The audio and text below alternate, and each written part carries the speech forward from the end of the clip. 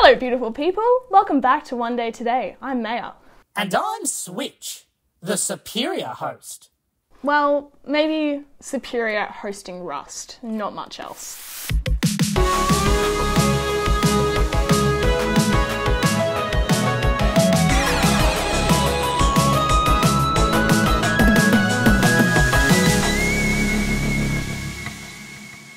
Today, we are recapping an awesome weekend that we had with Rhylee. She came all the way down to Warrnambool to educate people on building an online community on social media. But then she just wasted time dressing as Dobby. What's the purpose of that? Well, it's actually a lot of fun, and amongst the chaos, we learn a lot of valuable skills about building cosplay. Well, I don't see how that's fun. I would never dress up in something so silly.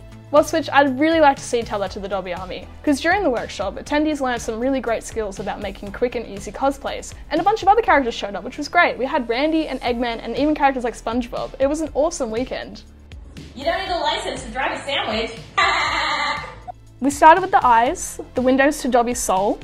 We just used sticky foam sheets and textures, super simple stuff that you can get at any craft shop. We used foam clay to make Dobby's noses, and people started looking pretty funny by that point. And after that, we used cling wrap and masking tape to make skull caps. The ears were made from scrap cardboard and masking tape was used to attach them. By this point, it kind of looked like a Dobby factory. Flat white for Dobby. So all in all, everyone learned a lot of great skills from Rhylee, and even though it was chaotic and a lot of fun, I think sometimes that's the best way to learn. Wouldn't you agree, Switch? Whoa!